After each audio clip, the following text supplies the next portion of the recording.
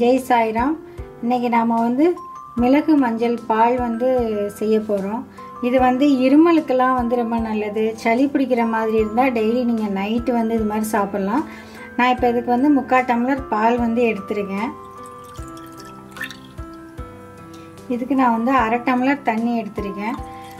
இந்த மாதிரி பால் வந்து நம்ம சாப்பிடும்போது சளி இருக்கிறவங்க வந்து பாலை வந்து ரொம்ப திக்காக குடிக்கக்கூடாது. தண்ணி ஊற்றி டைல்யூட் பண்ணி தான் சாப்பிட்ணும். ஏன்னா இந்த பால் வந்து திக்காக இருந்தால் நமக்கு வந்து சளியை வந்து உற்பத்தி பண்ணும். அதுக்காக தான் நம்ம வந்து தண்ணியாக பால் சாப்பிட்டா நமக்கு வந்து நல்லது. அப்போ இந்த பால் வந்து நல்லா சூடு வரட்டும். இப்போ வந்து பால் கொதி வருது நல்லா. இப்போ வந்து ஒரு கால் டீஸ்பூன் வந்து மஞ்சத்தூள் போட்டுக்கோங்க.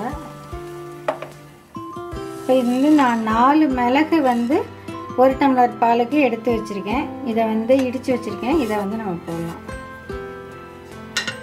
இப்போ இந்த பால் வந்து நல்லா கொஞ்சம் நல் மிளகோட காரம்லாம் வந்து நல்லா இறங்கணும். ஸோ இது கொஞ்சம் நேரம் நம்ம வந்து கொதிக்க விடலாம்.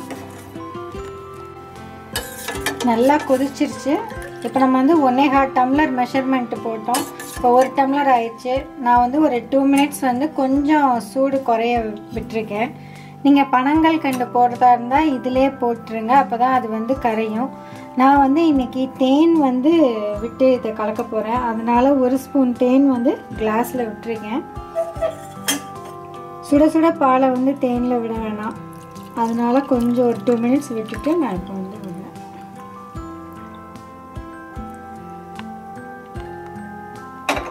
மிளகு மஞ்சள் பால் வந்து ரெடி ஆயிடுச்சு இதில் வந்து நம்ம மஞ்சள் மிளகு நான் இந்த வந்து பனங்கள் கண்டும் எடுத்து வச்சுருக்கேன்.